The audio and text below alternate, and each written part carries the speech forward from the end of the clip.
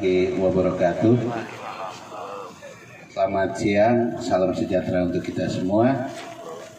Yang saya hormati Ketua Komisi 2 DPRI Bapak Ahmad Doli Kurnia Tanjung.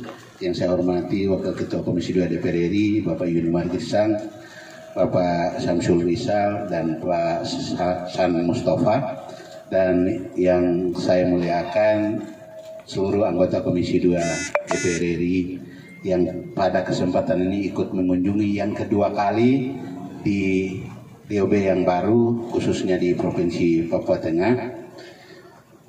Yang saya hormati Ibu PJ Gubernur Papua Tengah. Yang saya hormati Pak Dirjen Bina Bangda.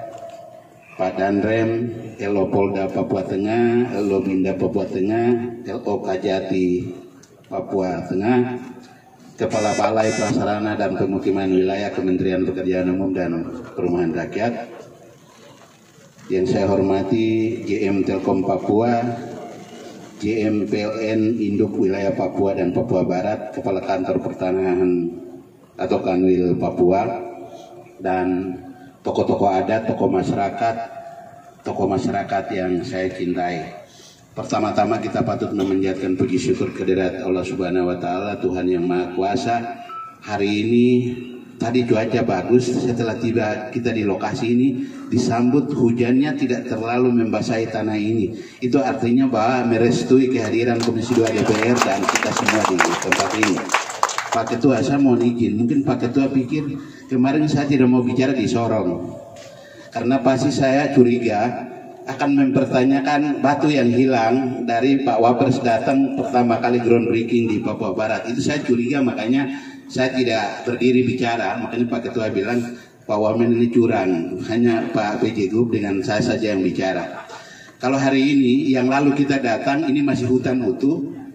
Kita buat eh, apa pondok-pondok kecil di depan sana tapi hari ini saya berani berdiri karena saya bisa angkat muka karena sudah dikerjakan oleh Ibu PJ dan pasukannya.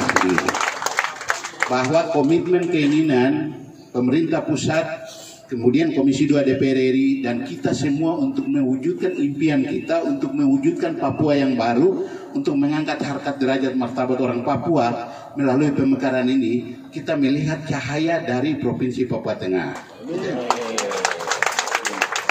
Tadi saya lihat gambar di paling ujung di sana itu, itu sudah yang dibongkar yang tadi sudah lewat separuhnya kita, itu saya lihat yang jalan-jalan sudah jadi. Tinggal yang di plotting tadi di gambar-gambar yang sudah kita lihat, oh ini pembangunan kantor gubernur, pembangunan kantor DPR, kemudian MRP dan juga untuk OPD dengan dengan perumahan ASN, saya kira sudah di plotting tinggal bagaimana untuk bisa membangun gitu. Makanya tadi saya bisik-bisik sama ibu, tolong pertahankan drainase harus lebih dalam sebelum kita bangun infrastrukturnya karena kadang kalau pertumbuhan kota itu sudah terjadi drainase tidak diatur dengan baik itu akan jadi rumit. Makanya drainase harus bangun lebih bagus supaya ke depan supaya tidak jadi problem begitu. Dan saya jujur sampaikan Ibu PJ terima kasih karena apa kita memberi mandat tugas ya untuk ibu melaksanakan di sini. Makanya saya berani berdiri di depan Pak Ketua, Wakil Ketua dan seluruh anggota Komisi 2 DPR RI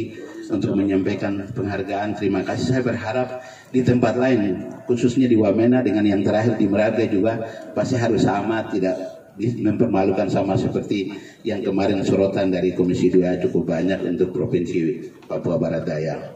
Sekali lagi pada kesempatan yang baik ini saya berharap komitmen yang dibangun dalam waktu dekat kita akan menggelar proses pemilu kada serentak tanggal 27 ya. Karena itu sudahlah yang berpolitik berpolitik. Mari kita yang bangun infrastruktur kita mempersiapkan infrastruktur dari sekarang sehingga siapa pun yang terpilih nanti dia bisa melanjutkan sama seperti apa yang disampaikan oleh Ibu PJ Gubernur Papua Tengah saya mungkin itu saja yang bisa saya sampaikan. Sekali lagi mohon dukungan dari Komisi 2 DPR RI untuk kita mendorong bersama. Memang Ibu PJ sudah ajukan untuk melelang duluan pembangunan kantor gubernur dengan alokasi anggaran 490 miliar. Karena PUPR lama, jadi Ibu duluan bilang kita sudah punya uang 490, kita mau bangun kantor gubernur duluan. Nah, Pak Menteri sampaikan bahwa supaya kita tidak melangkai apa yang menjadi eh, amanat di Undang-Undang DOB bahwa kantor gubernur, kantor MRP dan kantor eh, DPR itu dibangun menggunakan APBN. Makanya Pak Menteri bilang jangan dulu kalau uang itu ada bangun yang lain saja begitu sehingga Ibu bersedia menerima arahan dari Bapak Menteri untuk tidak melelang pekerjaan lebih dulu untuk pembangunan kantor gubernurnya sehingga berharap teman-teman dari Kementerian Pekerjaan Umum dan Perumahan Rakyat bisa melelangkan paket-paket pekerjaan ini sehingga mulai tahun ini sampai dengan tahun depan bisa kerjakan. Nanti satu waktu lagi anggota Komisi 2 DPR ini berkunjung lagi sudah ada bangunan di sekeliling ini.